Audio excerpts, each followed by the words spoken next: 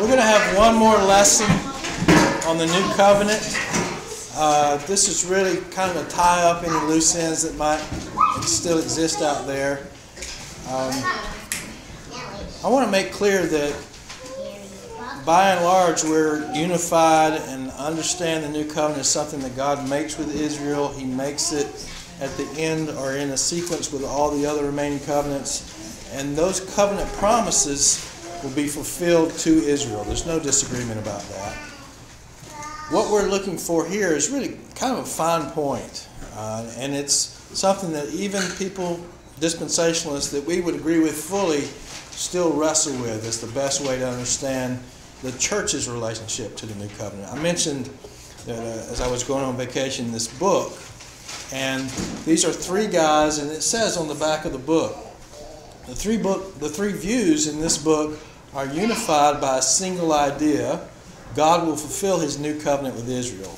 And that's in uh, distinction for the, to those who embrace covenantal theology that says that the church is the new Israel. And we don't believe that. We don't believe that the Bible teaches that. So, but these three guys have three different views of what the church's relationship is to the new covenant. And I've, I've only read parts of this so far. It's a very good book. So I want to say if you if you want to go further than what we will go as we end up today, I would strongly encourage you to read this book. I can also pass along some other articles to you, but it's just helpful to see how people come at it from different angles, different perspectives, but uh, again, largely trying to understand what the church's relationship to the new covenant is. And that's what we're going to talk about in this last lesson. I'm going to do that through a series of questions to you and we'll, we'll just go from there. The key factors in our discussion, again, I've said this already, but there's significant agreement between the various dispensational positions with regard to the fulfillment of the promises of the covenant. We looked at Jeremiah 31, you know, several weeks ago now. Those promises are made to Israel and Judah. They'll be fulfilled to Israel and Judah. The church is not the new Israel. And the promises can't be spiritualized and somehow seen as being fulfilled in the church today. Covenants made with Israel, its promises will be fulfilled to Israel in the future. Uh, the book of Revelation, in particular, spells out particularly the time period, that millennial kingdom in yeah! Revelation 20, is when all those promises that were not fulfilled at Christ's first coming will be fulfilled. And there's a lot of them. There's a lot of them in the latter prophets. So, as I've already said as well, this is a nuanced and ongoing discussion. I, I remember when I was in seminary, this was back from 96 to 2001, and this was an issue that we were talking about as seminary students. And I think our own professors would just have some disagreement about the language and the way that you understand and articulate this relationship between Israel and the covenant, or between the church and the covenant hopefully our discussion this morning will, will be helpful to you. But again, I would, this is a, such a complex and nuanced discussion that I would encourage you, if you want to follow up on something or just go into it in more detail, get a copy of this book. It's called Dispensational Understanding of the New Covenant. It's three different contributors, and there's a lot of these three and four view books out there that have different understandings of some biblical concept very helpful to read these kind of books to me because you get to see the people present their own case and their own arguments, and you get to see the people that have the other views respond. And it's just a very helpful way of seeing what the differences are. Let's look at this passage because it is the key passage on the new covenant. It's certainly not the only place, even in the Old Testament, that talks about the new covenant, but it is the one place in the Old Testament that explicitly refer- references in the covenant. Let's look at it again just as the basis of our discussion this morning. The whole days are coming, declares the Lord, when I make a new covenant with the house of Israel and the house of Judah. Not like the covenant which I made with their fathers in the day I took them by the hand to bring them out of the land of Egypt. That covenant being, of course, what? The Mosaic covenant that was the covenant that God made with Israel as they came out of Egypt and came down to Sinai. We made the case that Deuteronomy was a renewal of that same covenant with a new generation because the first generation had died out in the wilderness. My covenant, the Mosaic covenant, which they broke, although I was a husband to them, declares the Lord. That's just uh, a symbolism for the close relationship that God has with his people Israel. But this is the covenant which I will make with the house of Israel after those days. And I think if you go back and read Jeremiah 31 previous to this verse, it makes clear that after those days is still future to us. I make that point because well, people will say that the new covenant is ratified at the cross. And again, it comes down to what do you mean by ratified? It comes down to that kind of question. Certainly, the sacrifice of Christ was necessary for the forgiveness of Israel's sins. It was necessary as the basis for which the new covenant can be put into operation. I would argue that the new covenant has not yet been made with Israel, that it is still future. They're entering into that covenant is still future. And that's what this is talking about. This is the covenant I'll make with the house of Israel after those days, declares the Lord. I will put my law within them. That hasn't been done yet and on their heart I will write it, and I will be their God, and they shall be my people. And they shall not teach again, each man his neighbor, each man his brother, saying, Know the Lord. Well, that I think Donna brought this up several Sundays ago. Clearly, that's exactly what we're doing in the church today. We're telling people to know the Lord. So that can't be being fulfilled today. This is talking about a point at which the whole nation of Israel will know their God in a way they never have in their history. There's always been a remnant, but there's never been a wholesale, wholesale within the nation, everybody regenerated, everybody knowing the Lord, everybody walking in obedience to the law. That's what this is describing. Right. Yes. When it says, they shall all know me, Right. is that referring to Israel only? I think so. Okay. Now, certainly there's going to be a worldwide knowledge of the Lord as well because Israel all knows Well, a him. lot of unbelievers. That's right. Over the course of the millennium, there is a lot of unbelievers. Uh, at the very beginning, it's only believers Right. because of the judgments. But I think in this context, it is talking about just Israel and Judah. Okay. Uh, when you say believers, you mean like just Israel believing, right? As prophesied here in Jeremiah 31, yes. Okay. So this is where in the millennium that Christ is actually raised on earth, That's right. And they're still unbelievers. Okay, again, as you, as you think about it this way, as you get through the tribulation period, Christ comes back at the end of that tribulation period, he executes judgments, and only believers enter the millennial kingdom. Now, there are us, there are we as the church and glorified bodies that are in that millennial kingdom.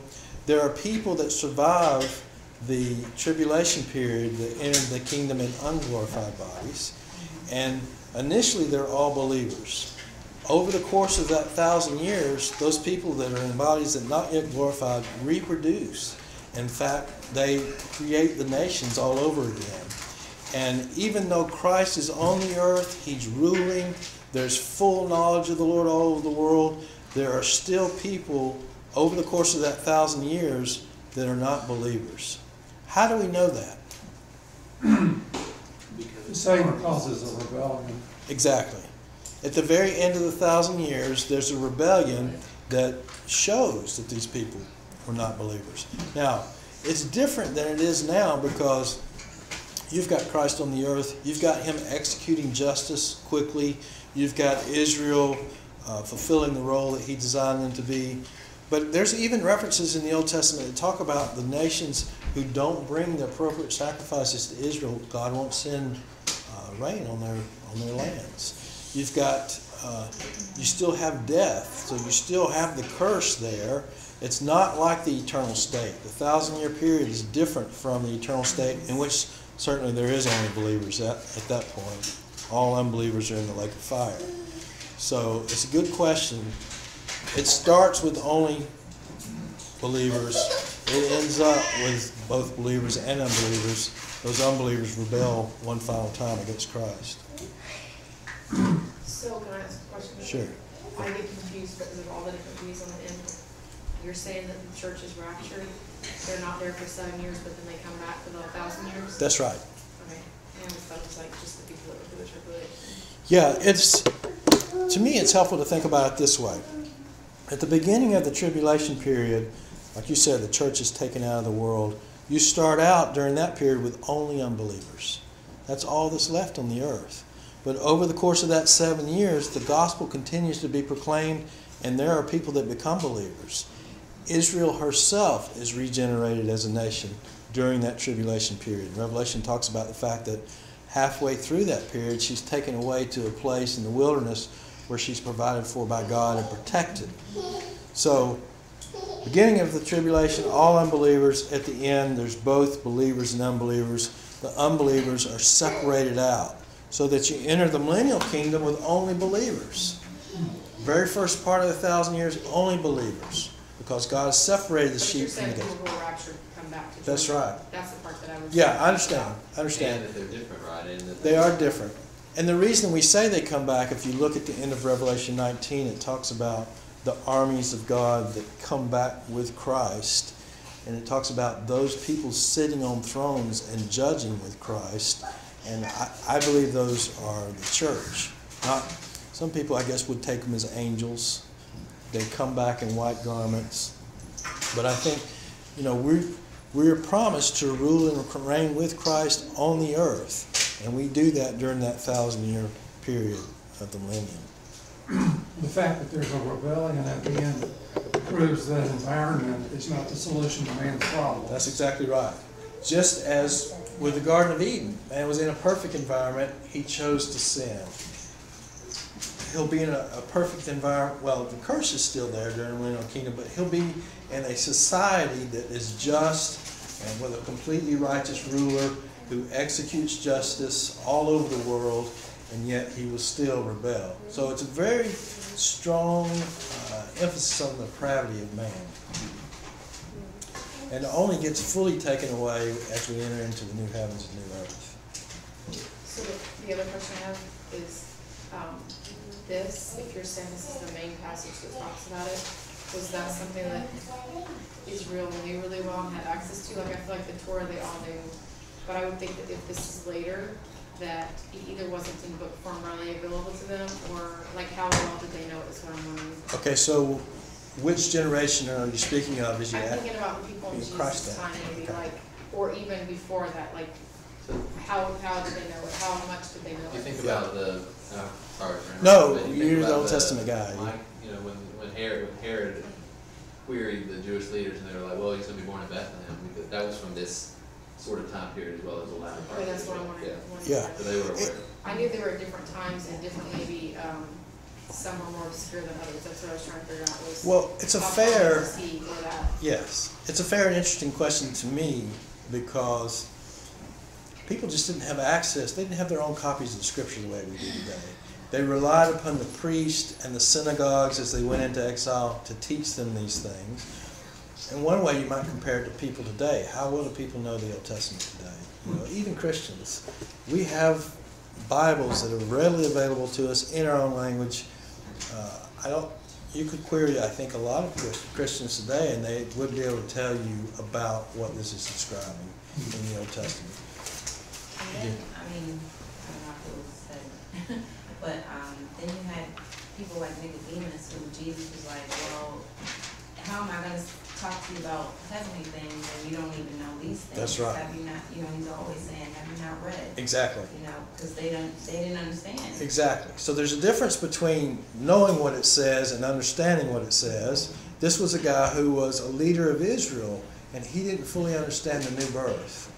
So, so I guess my other question is like, was this part, of like, was this scripture to them, was it canonized or whatever you wanna call it, at that, at like Jesus' time to them? I think it would have been canonized by then. Yes. Okay, So I think the issue there would have been not that it wasn't canonized, but was it, how available was it to them?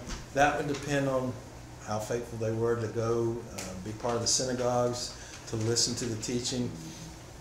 It seems to me that they're, just by virtue of the fact that, that it wouldn't have necessarily all been under one cover as we have in our Bibles today, and they would have personal copies of them, it would be less available in that sense, but still available. I think, in my case, I, there's a presupposition that God makes His revelation available to those who seek it, and I think it would have been available to them if they, if they wanted to know. in contrast to somebody like Nicodemus, you have somebody like, or two people, Zacharias and Mary, who showed great familiarity with the Old Testament. And I think it was, I think it was related to their character and the fact that they wanted to know. They understood the covenants. If you look at Mary and Zacharias' response to the angels appearing to them about the coming birth of John the Baptist in Christ, uh, they have, they're theologians. I mean, they really understand how the covenants work, and they're looking for the fulfillment of the new covenant with the coming of the Messiah. So these are the things that God's promising in the new covenant. They shall not teach again each man his neighbor and each man his brother, saying, Know the Lord, for they shall all know me, from the least of them to the greatest of them. Again, I think in the context it's talking about Israel and Judah, but not, not excluding the fact that their repentance and their embracing of Christ as Lord is going to have impact for all the nations all over the world. I will forgive their iniquity and their sin I will remember no more. Now, again, I made the case earlier. I, I don't think Israel has entered into this covenant yet. I would argue that they're still under the curses of the Mosaic covenant. Now, it's true that the Mosaic covenant itself has passed off the scene in the sense that the temple has been destroyed and the people aren't able to keep the law uh, by, by virtue of that fact. What, what are the people of Israel, and anybody for that matter, responsible to do today? And repent and believe in the Lord Jesus Christ. That is the only way of salvation, Jew and Gentile alike. That's what makes the church different from Israel. And this period that we're living in, different both from what has come before and what will be in the future.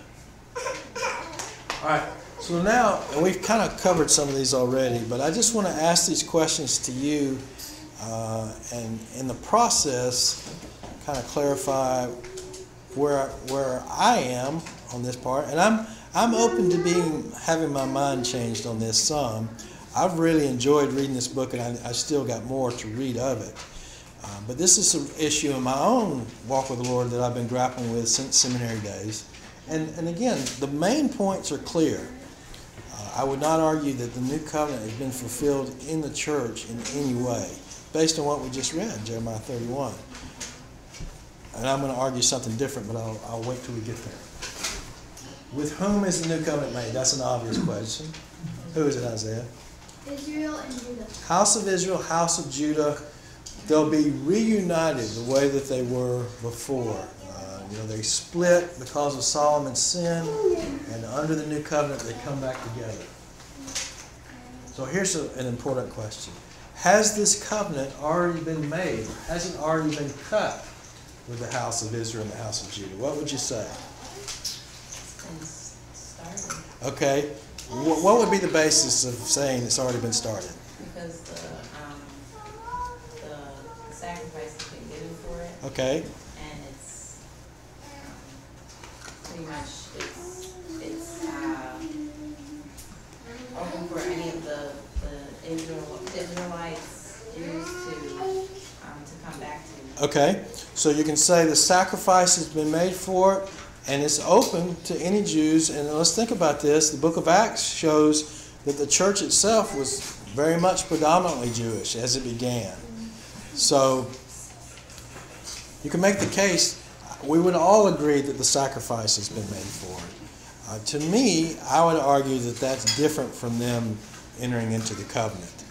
Uh, and so I have to explain, in light of that, what does Christ mean when he says, This is the blood of the new covenant? Well, it is the blood of the new covenant, but it is also more than that. It is the blood that has paid the price for sin for all the nations. Not just for sins from the cross forward, the sins of all mankind of all time were paid for by the death of Christ. So I would argue even the sins of people that preceded Moses, that preceded the old covenant, were paid for by the blood of Christ. Did those people who were believers come under the new covenant? I would say no. And I would say that the new covenant is still to be instituted. It's still to be instituted with Israel. Now, Christ's blood is the blood of that covenant, no question about that. But the covenant itself, I just don't think that's the best way to think about it, that it's already started, that it's already started to be fulfilled. I would see the church and Israel separate even in that sense. Okay, the second question that I have to answer in that regard is what, well, I think it's, it's coming. I won't. Is that like amil thinking that it's, that's, uh, happening, Yep. happening currently? Yes. Okay. So the Amils would say, and you can say what Adia said and not be an Amil, to be sure. Okay. Because these guys, some of these guys argue that the covenant was ratified at the cross. Yeah. But you can also say it was ratified at the cross and that the, the people of God now are the church and therefore the new covenant is already in effect. So what about the people that are currently, uh, that are, that are Jews or are coming to Christ, like right now? How Right. does that come into it So let me ask you that question. What about the people that are becoming believers right now? How is it that they're reconciled with God? Is it through the new covenant? Yes. I would say no. Well, no, I mean, uh, through the blood of Christ. I mean, It's through the blood of Christ. Right. And that's what I would argue that the book of Hebrews is talking about. Not that the new covenant has already started, but that the mediator of the new covenant has already been made known. That is the means by which we have what we have as Christians today. That's what I, that's what I, when I said the new covenant, I was, for some reason, I was mixing it up with when you said Christ said that this is the blood of the new covenant. Talking about the one that Christ made, rather than the one, this is the one of Jeremiah. Right? Is that- Well, no, now, let's be careful. I don't think there's two new covenants. Some people make that argument. The dispensationalists in the past have especially said, well, there's a new covenant for Israel and a new covenant for the church. I don't think so. There's only one new covenant. But the mediator of the new covenant is the same for both entities. So, which, which covenant is he talking, is Christ talking about when he says the new covenant? I think he's talking about the one in Jeremiah 31. So is that, is that the, um, is that the covenant for, like, within the last days, the hundred forty-four thousand? So I would, I would say, even though the I 140, know, like, within the last days, like in Zephaniah, it talks about three nine, that he'll give them, you know, their original language and, you know, just things that are gonna be happening within them. Yes. You know, the law's gonna be within their, in their hearts, Right. So the 144,000, I think, precede the actual regeneration of the nation. And I would say that God enters into the new covenant with Israel when the whole nation that's left, well, I say the whole nation, you know, many Israelites will be put to death during the tribulation period because they have not believed. But there'll come a point during that tribulation where God regenerates Israel and takes them away to the wilderness. So to me, that's the point. And the only reason I, I don't say it's the 144,000 because I think they come a little bit earlier and they are they are proclaimers of the gospel through that period of time. They end up being martyred, but they end up also overcoming. So I would put the regeneration of the nation a little bit earlier than their ministry. All right, so this question is Does the New Testament in general and the book of Hebrews in particular argue that the new covenant has already been fulfilled? I would say no. Already begun to be fulfilled. Okay, thank you. That's an important correction. Already begun to be fulfilled because that's really the question. And I would say no. Now, again, I think the hardest thing for me to defend is what then is the message of the book of Hebrews. And what does Paul mean in 2 Corinthians 3 when he says he's a minister of the new covenant? And again, this is, these are the questions that these guys are dealing with in this book. It seems to me that the message of the book of Hebrews, as it's written to Hebrew Christians who have become members of the church in the sense that they've embraced Christ as Messiah, they have started to get persecution from their fellow countrymen who have not embraced the Messiah, and they're thinking about going back to the Mosaic system. And the main argument of the book of Hebrews is you cannot do that. Because to do that is to walk away from Christ. So you're going to forsake Christ as the mediator of the new covenant in order to go back to this old system. And so the warnings are against that. And you mean going back to the Mosaic as, as in for salvation? Yes, yeah, for salvation and, you know, for the priesthood, for the temple sacrifices, which was, all that was still operating as Hebrews was being written. But yes, in the sense of saying, well, we believe this is something that God has given us, we're going to stick with it, and we're not going to go with Christ.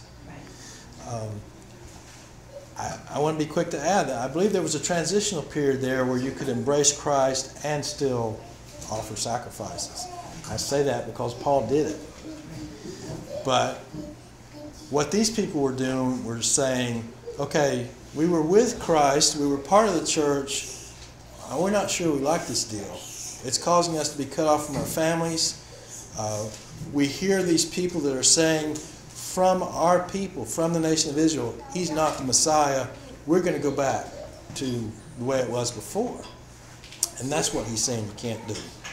Now, still, it speaks about the new covenant being enacted on better promises, it says in Hebrews 8. I, to me, that's a key word there.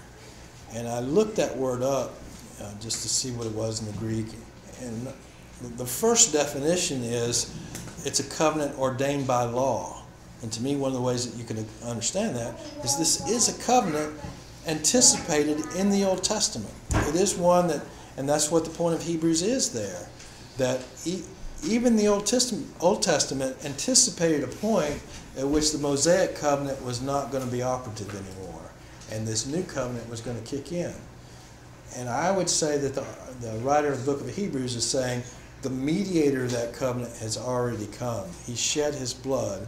He is the means by which we have reconciliation with God. You can't forsake him, you have to hold on to him. It's a little different for us today as Gentiles because we were never under the old covenant. And this was not an issue for us, right? I think it's fair to say that when we came to Christ, we weren't wrestling with whether or not we had to stay under the Mosaic system. Uh, the church has been already been in uh, existence all these years. So for us, it was just a matter of receiving Christ as our Savior and Lord. But for these guys, it was a little bit different question. All right. How are we going to understand Christ's words to the twelve when he inaugurated the Lord's Supper? This cup, which is poured out for you, is the new covenant in my blood. I'm not arguing against that. Certainly, Christ's sacrifice is the blood of the new covenant in the way that animal sacrifices were the blood of the old covenant.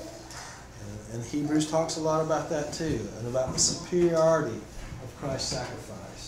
So when he spoke of the new covenant, did they think that he was initiating some kind of new covenant um, that they hadn't heard of, or did they know what he was referencing to as far as the new covenant in Jeremiah? Did I- they know that? I think they did. That's kind of what I was asking. Yeah, I understand. How prevalent was, I was trying Yeah. to figure out whether they would have the context of. Well, I would argue that they did. One, because they were Jews. Certainly, the writer of Hebrews himself knew it because he cites it. He cites Jeremiah 31, and I think he, he's assuming that they're familiar with it because that's the basis of his argument. Well, even the disciples, when they were at the, the table, they know exactly, okay, this is the blood of the new covenant? They were like, well, okay, he's obviously speaking about, I think so. Jeremiah? I think that's a fair assumption.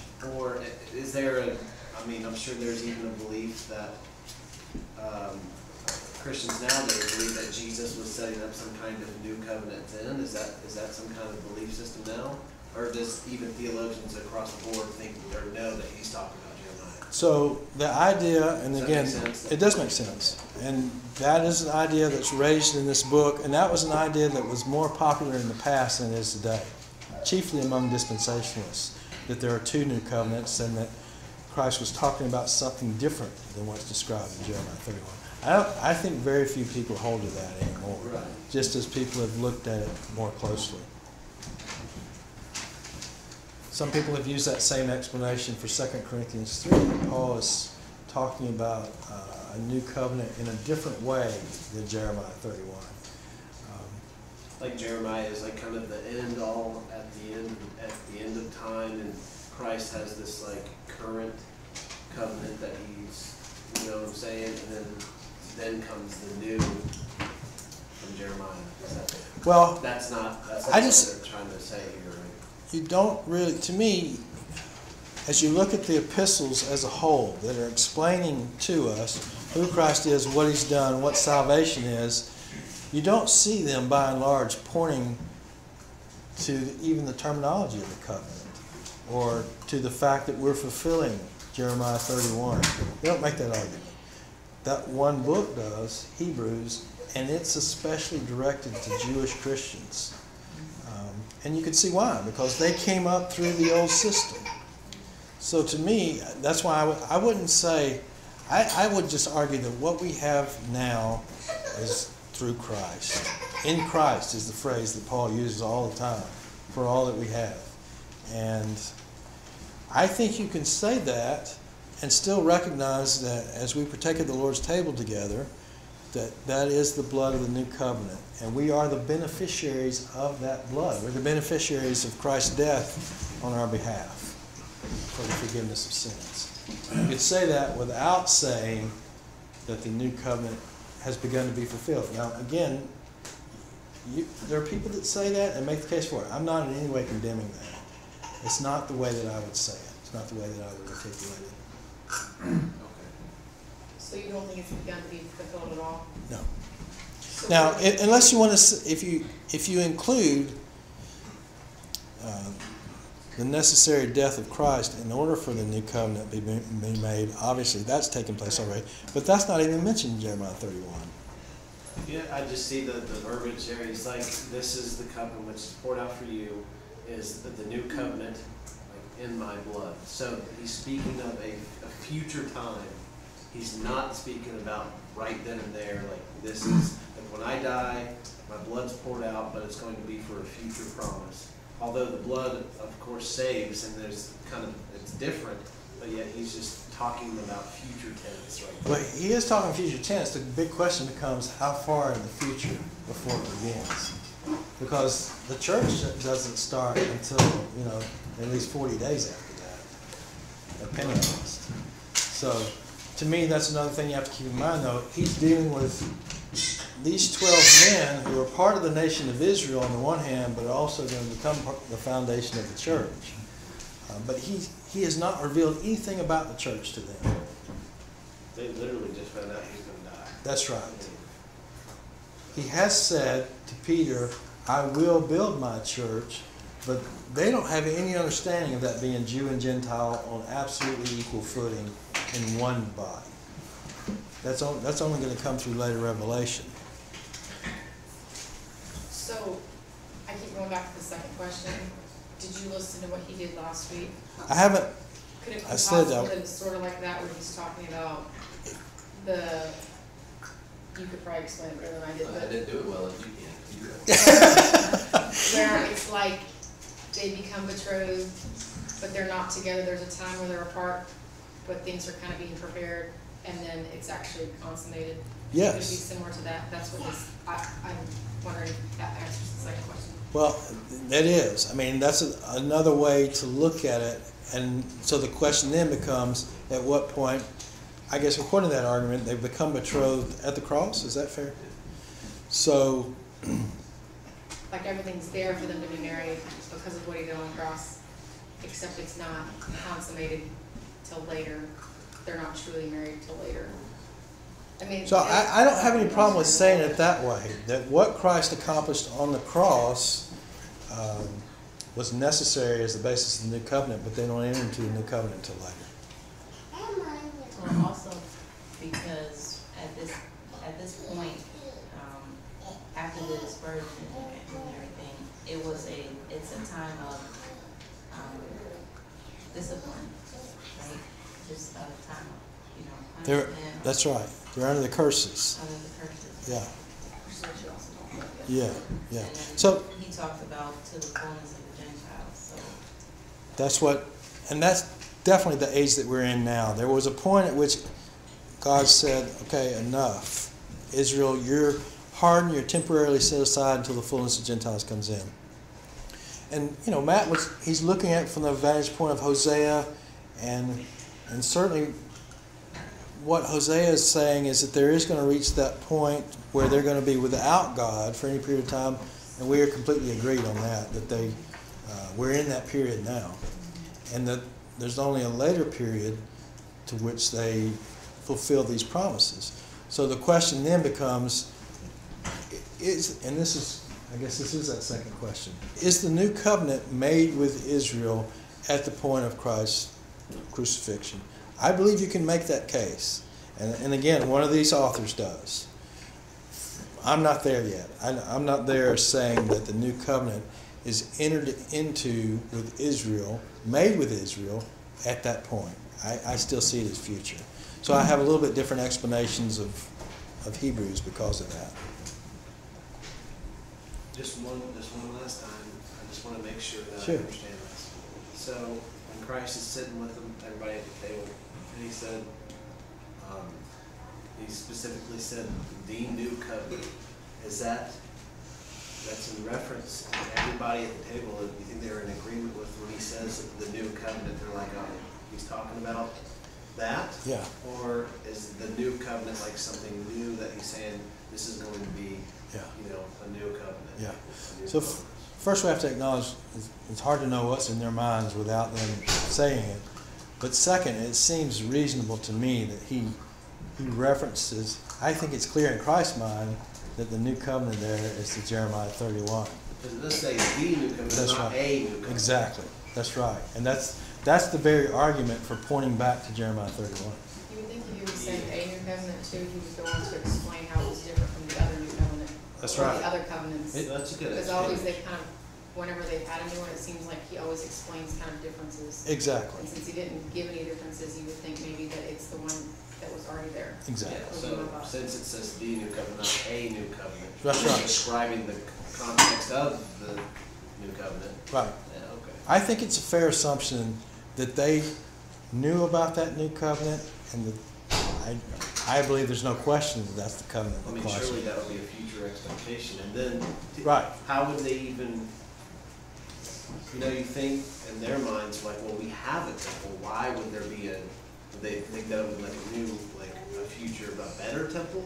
Or what if they, in their minds, how, and like, you know what I mean? Because they I have a do. temple there. Okay, they do have a temple there, but what what has Christ taught them about that temple?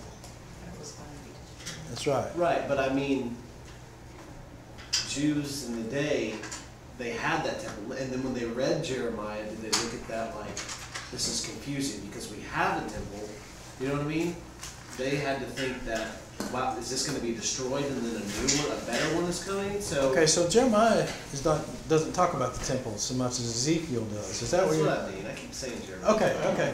No, okay. I just want to make sure I understood what you're I saying. really didn't say Jeremiah, I meant, I keep on confusing it, I meant to say, yeah. So, you know- No, that's okay. I- everybody here. I think, for one, when they came back after the exile and rebuilt the temple, I think it was clear that that didn't match up with the design of Ezekiel's temple. Gotcha. Whether or not they are expecting the Jew, the common Jew in the street was expecting a new temple, it's hard to know, hard to say. I think from where we stand, as you look at it, and you know, from where we stand after the destruction of the temple, and you look at what Ezekiel says, not only about the temple, but all the attendant circumstances, it's clear that that has never happened in Israel's history. And so that's why we, we think there is another one coming in the future. But it seems like they expected the new covenant to be consummated immediately. And I would, I would think that they would have assumed, notwithstanding the differences between what they saw and what Ezekiel wrote, that the new covenant was coming immediately, that Christ was gonna return and gonna set up his kingdom right there. Would have been my guess for what they thought was gonna happen. When you say they, who are you The, talking the, the disciples, I think they had an expectation that Oh, all, absolutely. was- all was gonna be, about to be consummated. His death was gonna bring the new covenant, new covenant was gonna come, the temple was gonna be there, Christ was gonna rule. Like, I don't think they would have thought that it was gonna be destroyed and that that was, you know, anything like that. I think in their mind, they expected. Well, so- yet. But you have to square, or you have to fit in there what they've just been taught that week about the destruction of the temple. Right Yeah, so- the discourse. That's right. That's right, So, but I mean, I agree that that expectation was there, particularly before, you know, as he comes and proclaims the news of the kingdom and that he is the Messiah.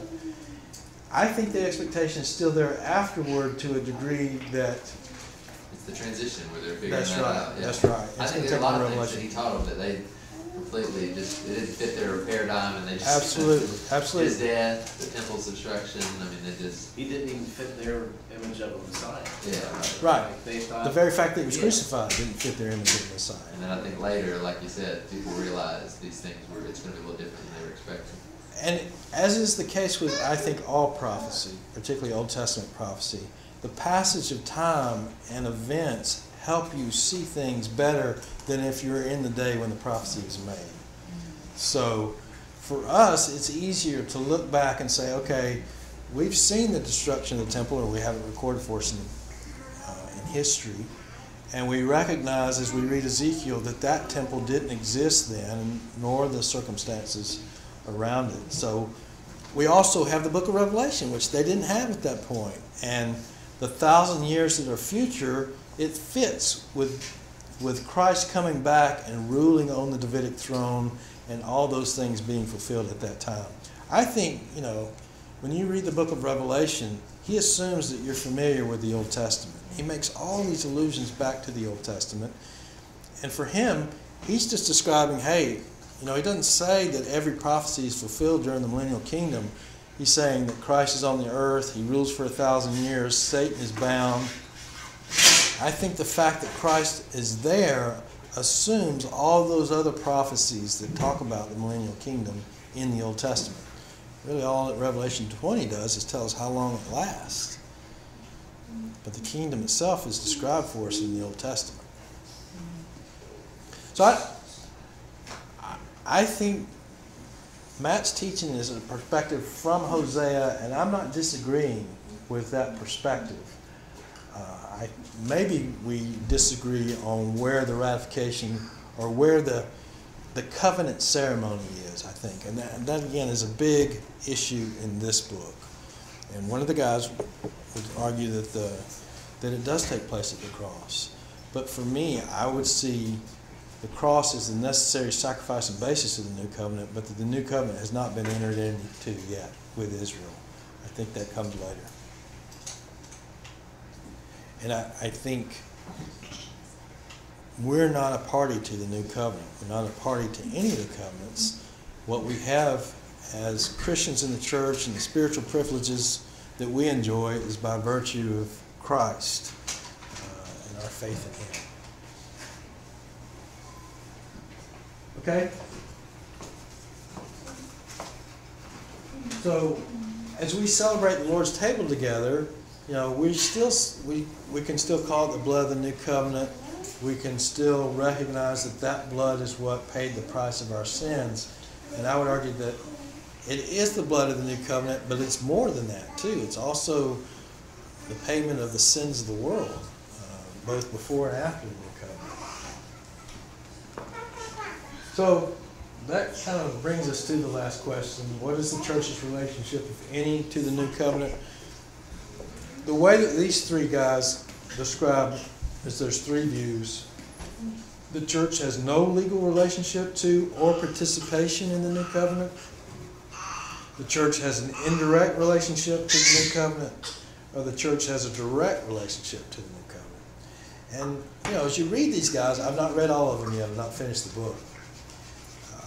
Sometimes it just seems like they're looking at it from different perspectives. When the guy talks about having no legal relationship, he's just saying that we're not a party to the covenant, and I think everybody agrees with that. And they all agree, again, that the promises will be fulfilled to Israel. We're not fulfilling the promises. So the real questions come down to has, it, has Israel entered into this covenant already? Did that happen at the cross? Or did the cross provide the basis for that to happen, sacrifice necessary for it to happen, and they enter into the new covenant? That's where I am right now. Um, but I fully respect those who take the position that it was, that it was entered into at the cross and that we're, you know, that there's an indirect relationship somehow. I think we would all agree that we get uh, some of the blessings that are promised to Israel, uh, we get them in the church now. And, and I'm talking about forgiveness of sins, reconciliation with God, the indwelling of the Spirit. That's not mentioned necessarily here in Jeremiah 31, but in other Old Testament texts that speak of that time. So I don't have any problem with saying that. But I think we have those blessings not uh, because we're, we've begun to fulfill the new covenant or the new covenant's already in force. We have them because we're part of the church and we, we have them through Christ. Couldn't you say that Christ inaugurated the new covenant and believers enter into the blessings of it, but it won't be fulfilled ultimately until Israel is saved? You can't say that, and that's one of these views. Um, that's not the way I would say it. What, what would you say specifically as far as when, when Christ said this it is the new covenant of life? And when Paul said, I'm a minister of the new covenant? What, under what conditions were they thinking that? So, I think that Christ's blood is the blood of the new covenant because it's the basis upon which uh, the promises of Jeremiah 31 can be fulfilled. That sacrifice had to be made. So, I, I'm not disagreeing that that has already been done, of course. Um, but I think you can say that without saying that the new covenant has already been entered into. Even to say it's been inaugurated? So for me, those are the same things. To say it's been inaugurated implies to me, uh, and maybe you mean something different, that has been entered into between God and Israel. Well, I don't think it's between God and Israel. Okay. I just think the blessings of it, the- the salvation of Israel comes uh, at the second advent. Right. So again, that, that, that is a very legitimate view, and again, it's one of the ones that are in the book. So, I mean, what it comes down to, it seems for me, is to read the book, see the argumentation on the different sides, and then you have to come to what you feel like best explains that situation. And, you know, I don't think this is a difference that, it's a very fine point. It is. It doesn't mean we shouldn't wrestle with it and come to a conviction on it, but it's, uh, people are gonna land on it differently, and we're gonna agree with each other on a lot of points about it, but we're gonna express it differently and, and maybe have a different belief as far as when the new covenant is inaugurated. I guess I just don't see why we, when Christ said this is the new covenant of blood, why we can't enter into the blessings of it now. So, what are the blessings of the new covenant as spelled out by Jeremiah thirty-one? And, and Well, it's, it's not just that, all the things that are specified, but it's, obviously, it implies regeneration and the spiritual life. So I agree that we have those blessings for sure, but I just wouldn't connect them with Jeremiah 31 because they're not even promised to us in Jeremiah 31. Hmm. And again, I know I, it seems like I'm splitting hairs here, but I, I agree that we have those blessings, and I agree that they're very similar to what's described in Jeremiah 31 and the other Old Testament texts that describe regeneration, indwelling of the Spirit, those kinds of things. But I don't think every one of those Old Testament texts is talking about with relation to Israel. Right. And so for me, the best way to say it is we, we what we have is very similar to that, but it doesn't fulfill the new covenant. And it's you can see where we have what we have by virtue of, of Christ, but Christ's blood is also the blood of that covenant that's still future. So I think both things are happening, both are true, but the blood of the covenant is a covenant that's still to come. I just, and again, I, I'm, uh, this, reading this chapter in this book helped me solidify that more. I'm still open to being persuaded differently. Uh, but right now, I would argue that that new covenant is still to be entered into in the future. That Christ's blood is the blood of that covenant. Think about it this way. The, the only reason, or the only means by which they're going to enter into the blessings that are promised in the Old Testament is when they embrace Christ as the hmm. Messiah. And that doesn't happen until the future. So I would just say that we we have things that are very similar, and it, really does come down to how you try to articulate it. We have things that are very similar to this, to what's described in Jeremiah 31, hmm. but I think we have them by being in Christ, not in any way by fulfilling the new covenant. I guess I just have a, Christ says this is the new covenant, Yes, that language, uh, it's hard to get around to me. I understand. Yeah, I do. And again, you know, that's the same issue that some of these guys take. Yeah, that's kind of the crux of the, It really is. of the whole argument. It is. Yeah. I just, as I've looked at it, as I've read these guys, as I've, as I've looked at the argument of Hebrews more, for me, the best way to articulate it is that we have the mediator of the new covenant, we have Christ, but the new covenant itself has not yet begun to be fulfilled. Okay, is there anything else we want to say about the new covenant? I guess that's the last slide for this lesson. I want to ta- talk a little bit about next week and what we'll start then, but are there any other questions about the new covenant today? Matt, is there anything else you want to say, I think it's worth saying that these, you said at the beginning, these are very nuanced, and there's small differences in whe- whether inauguration is different than fulfillment or not. Right, And then there's a wider gap with, whether you say that the church and Israel are the same. Exactly. And an even wider gap between people who would say Christ wasn't the Messiah at all. Right. We would- And we wouldn't have any fellowship. exactly. So it's, Yeah. it's just good to keep in perspective. It is. That's very important. I don't want to confuse you, and I've, I've, I kind of felt like the last lesson I taught might have done that. This is something that even people within dispensationalism that we would have very common beliefs are still wrestling with, and that's the way doctrine works. It gets worked out through time, through discussion, through debate. So don't let this bother you in any way but let it drive you to further study and to coming to the thing where you what you believe is best articulated by these scripture passages. Again, I think the argument that Charles is making and the one that Matt has presented and even the things in these books, there are very strong arguments. And you can take those positions because you feel like that's the one that has the best evidence. But there are also other arguments, and the kinds of the ones that I've made this morning that, that are out there, and you know, you just have to wrestle with it uh, to get to come down to the best way to articulate it. Okay, so next week we'll begin Old Testament survey. And this is what we'll be doing during the second hour.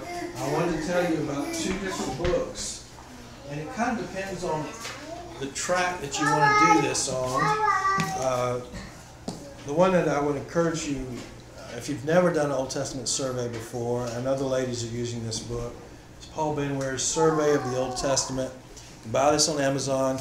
If you buy it, make sure you get the, this later edition because in the earlier edition it doesn't have the graphics and the tables, which are very helpful. But this, what we'll be doing is basically walking through the Old Testament a book at a time. So it's going to be a very broad overview, but it will help you in the same way that putting the outside puzzle pieces of a puzzle does to see what the message of the Old Testament is. Um, so this is this is a good basic book on that. That's right, the Kindle version. Yeah, so don't get the electronic version. Again, get this one that looks like this. How, does everybody use Amazon to buy books? That's all I use. You can. There's other places. Okay, so AbeBooks, Amazon. There's several used book. I would get used copies. They're cheaper, and uh, just make sure you get the one that has a cover that looks like this. The other cover looks much different, and it's just text. It doesn't have any of the illustrations. So I make sure you get, if you get that. No pictures? No pictures. That's, that's the downside. This one only has text anyway, and the only edition of it. And as you can see, it's much bigger, more like a doorstop than Benware's is. But this is an excellent book. It's called Old Testament Theology. Uh, I know that Matt has a copy of this, and Daniel has, you borrowed Matt's copyright and they're reading it. I've talked to Charles about it already. And I don't want to discourage any of you that want to read this. It's just bigger, it's theologically deeper and and richer. Uh, so if you want to try to read this, I would definitely encourage you to. It sounds like most everybody here is going to have access to it. Aaron, I need to talk to Aaron, or if you would just pass along to him. I'll send these out in the email where you can just click on the link and order it off of Amazon if you want to. But this this guy goes book by book through the Old Testament and just in very clear writing uh, summarizes the message of each book. So we won't be necessarily working through these books in our time on Sunday mornings, but if you'll read these during the week and prepare, it'll make a big difference in what we do on Sunday morning. We'll also plan to um, put these messages up on the website so you can go back to them and listen to them there. The last thing that I wanted to do was uh, we sent out an email about some churches in North Carolina that were helping with the relief effort for Hurricane Florence. And you can give to those in a couple of different ways. If you want the tax deduction, it would be important for you to give through our church, designate. If you give online, all you can designate is that it goes to missions, right? I don't think there's a place where you can indicate on the memo what it's for. benevolence, I thought that you could, No, that's right, benevolence. and that would, that would let us know. Yeah, that will let us know on that one. Just, just use the drop-down box and go to benevolence. And if you give to benevolence in the next couple of weeks, we'll assume that that means you want to give it to the storm relief. The other way is within that email, there's a link that you can click on there and give directly through a Facebook page. And I assume that you don't get a tax deduction there because I don't think it would go through a church necessarily. But what we would what we plan to do is give each of you a week or two to pray about that and decide if, if you want to give towards it and then we will use some existing church funds to supplement that. These are two different churches. Matt happens to know both of the pastors. Uh, they, he was in seminary with both those guys. And so we feel comfortable in giving towards those churches mainly to help the people within their own congregation. Email has more details about that